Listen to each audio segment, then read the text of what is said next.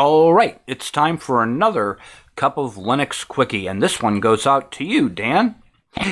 And this video is for the benefit of anybody who has followed my Cadian Kdenlive workshop and they're looking for ways to possibly speed up rendering times.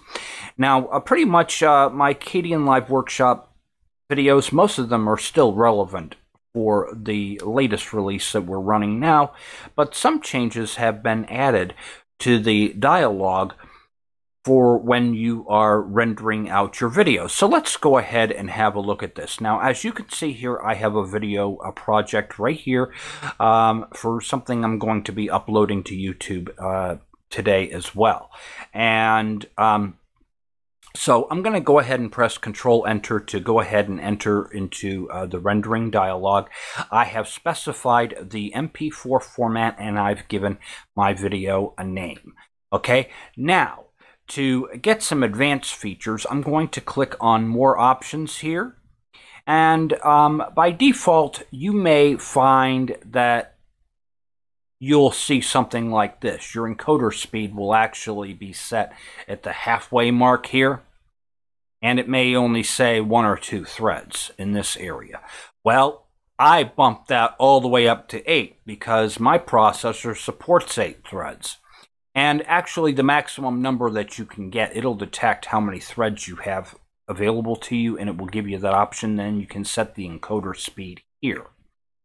Now, um, something else I like to do to help speed up rendering is um, I like to go into settings here, configure Kdenlive, and then adjust environment variables. Now, this is very important. While you are editing, you always want to have your processing threads set as one. If you don't, you're not going to be able to move the playhead. Okay? And that's something you're going to want so that you can, you know, move the playhead and, you know, um, as you're editing. So, um, when you are not editing and you're getting ready to render, to get that extra bit of oomph, set this number up to the highest amount of uh, processing threads that your processor supports. In my case, that is 8. I will select Apply and then select OK. So 8 threads in the environment variables and 8 threads to the encoder. All right, this is going to give us a faster rendering.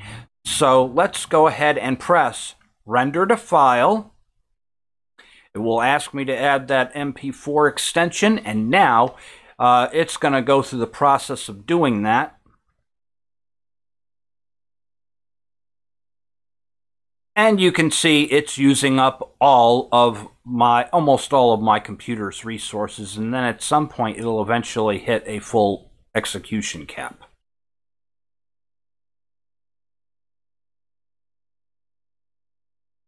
Note, it is saying about 5 minutes 45 seconds to render this video. I can guarantee you it's not going to take that long.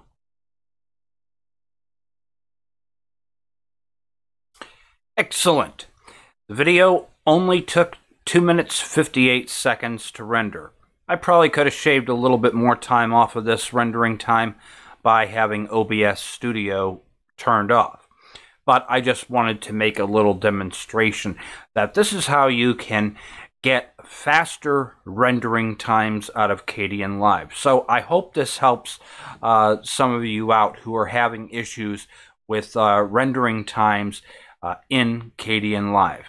Well, that's all I have on today's Cup of Linux Quickie, and I'm not sure what I'm going to be doing next, but I'm sure I'll have something equally exciting. So until next time, peace out.